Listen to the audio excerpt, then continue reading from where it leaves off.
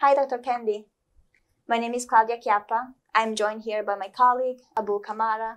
We're both journalism graduate student at Boston University. As a, a person of color, um, existing while striving for racial equity can sometimes be exhausting, and particularly today when we think about the trial of Derek Chauvin in Minneapolis. In moments like this, how do you remain committed to doing the work of anti-racism? I think it's it's it's in moments like this that I, I really reach out to um, and really sort of hug um, not only people that I love, but but even the rights that we all love.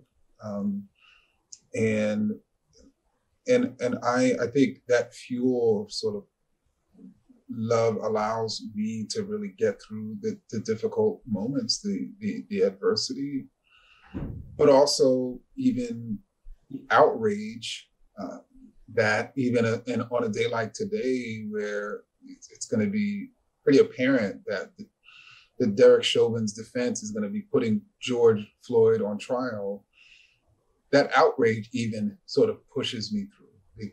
You know, just as the people who watched him be murdered were outraged, right? You know, you, you just can't stop. You, you can't even really think about yourself.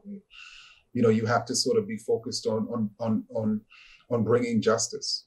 Um, I think if there is a guilty verdict, I I, I suspect uh, people aren't going to be surprised either on some level because it it was obvious that this this officer should be guilty. But then again, I think people will be surprised, and I think people will then take the next step and continue to fight to ensure that policies and practices are in place that that never allow anybody to be killed uh, at the hands of police and certainly in the way George Floyd was. You know, as much as blaming the fact that we should have this should have never been a case to begin with because George Floyd should be with her daughter, his, his daughter right now.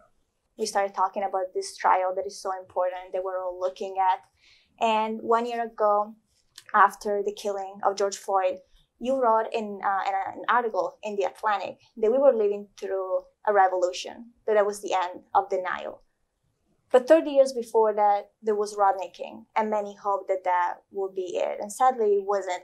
Uh, what do you think it will take so that there isn't another name added to that list?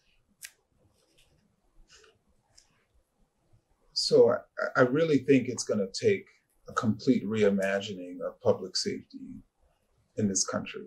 And, and, and, and what I mean by that is what we currently have right now is a situation in which people across political parties, even across races, believe that there are these extremely dangerous black neighborhoods with those dangerous black people who need to be controlled by these militarized police forces and massive sort of prisons and and, and a suite of sort of laws uh, you know that criminalize and keep these quote animals in check. And, and then so that's the larger societal perspective. And then police officers are then told to, quote, keep those so called animals in check, and they're given qualified immunity, and they're allowed to be investigated by themselves, right, when they do wrong. It is a conceptual or ideological system that connects Black people to danger, combined with all these policies that protect police officers when they act on that um, that just completely needs to be transformed. In your book, you spend a lot of time defining terms like anti-racist, biological, anti uh, biological racism, which words I previously had not heard of.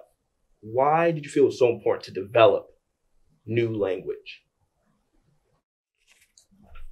A large part of our long-standing argument over racism and specifically whether racism exists and specifically who is being racist is over definitions.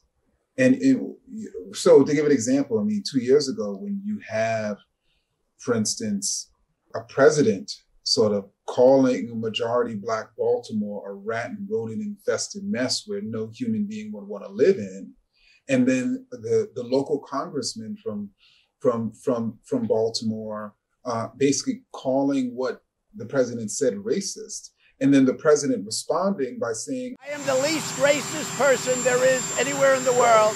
What is inherent in that? A different, completely different definitions of the term racist itself.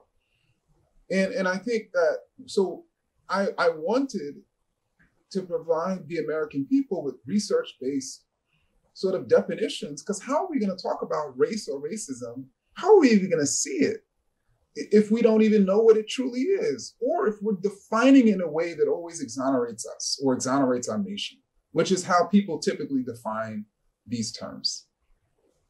Yes, racism is, is everywhere, affects people everywhere geographically, and it really affects people of all ages. And that led me to think about, in particular, your work you published last year, Anti Racist Baby and I was curious, uh, why did you think that it was important to write a book that specifically introduced the idea of racism to young audiences? I think it's a combination of having a young daughter.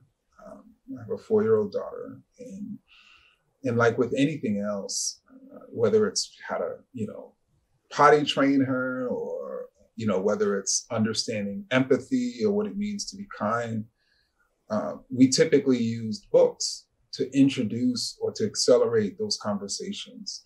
I certainly wanted to, to have a book to begin talking to her about what it means to be anti racist. And I think that combined with the data that shows that as early as three months, uh, babies start understanding race as a concept. So it really happens between three and nine months.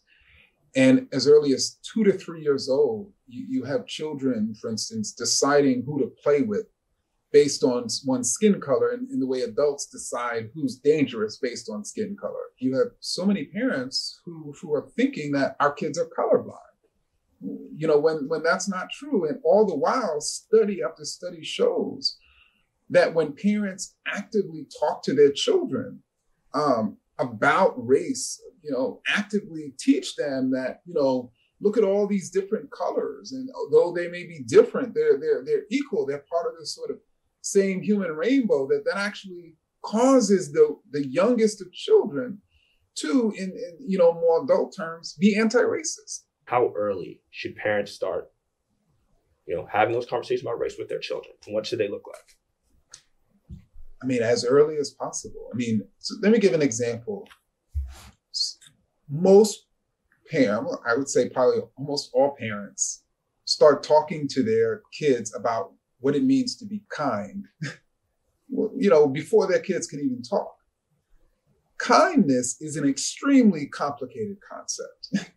and and it and it's the type of concept that what it means to be kind is potentially very different in a multitude of situations. And and, and the reason why I'm emphasizing how sophisticated kindness is, is because you have parents who say, oh, it's just too sophisticated to talk to, to my kid about, about rape. Kindness is sophisticated.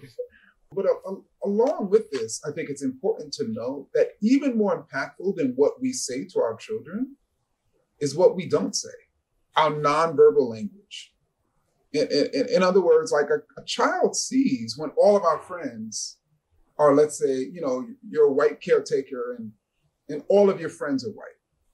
Like a child sees that. You know, a child sees when, you know, you're walking down the street and a black male comes upon you and you get scared. A child senses that. That's a that you're you're saying something to that child. You know, a child sees, and indeed studies show that those children who grow up in homogenous neighborhoods, that that impacts their racial development not in an anti-racist way. The issue of representation uh, goes beyond BU walls, and it's also in Boston.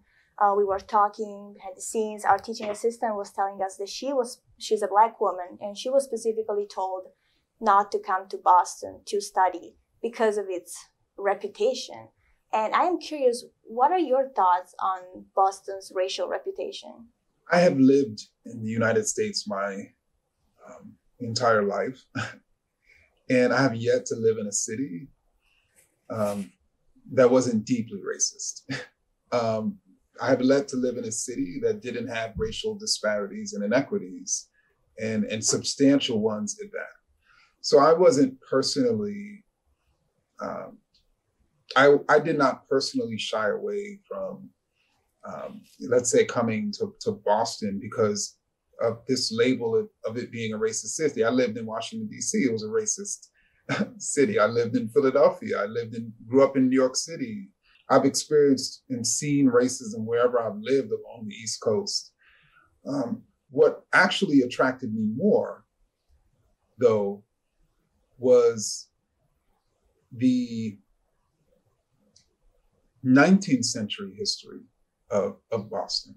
And, and, and, and Boston was one of, if not the cradle uh, of, of the abolitionist uh, movement and and you had everyone from uh, Maria Stewart um, to um, William Lloyd Garrison to Wendell Phillips to to Charles Sumner, and then you know going into after the end of slavery, we had people like W.B. Du Bois and um, and and of course Martin Luther King and, and Malcolm X, and I mean you name the pivotal important leader prior to the busing era, which of course really labeled this city um, you know, there there were so many great folks who, who, who came through this city, and I just wanted to walk in in their footsteps. And Abu and I, we represent the next wave of journalists. Uh, what would you like to see us do when it comes to conveying this idea of anti-racism? If journalists were willing to use the, the term racist when it's appropriate, that would be a huge step forward for the field, right? Um, and, and, and, if, and if journalists were willing to tell the truth, even when a particular political party, when they know the backlash would be, oh, that's, you know, you're being biased, that would be a huge step forward. And, and if the journalist can't be the arbiter of truth, can't tell the American people what is fact and what is fiction, then who's going to do that? Dr. Kendi, I just want to thank you for you know coming today, speaking to us with so much candor. You know, on a day where you know so so many of our hearts are are are, are so heavy, considering everything we've seen in this past year. Um, for Claudia Chiappa, I'm Abu Kamara. Thank you and have a good night. Thank you. All right. Thank you.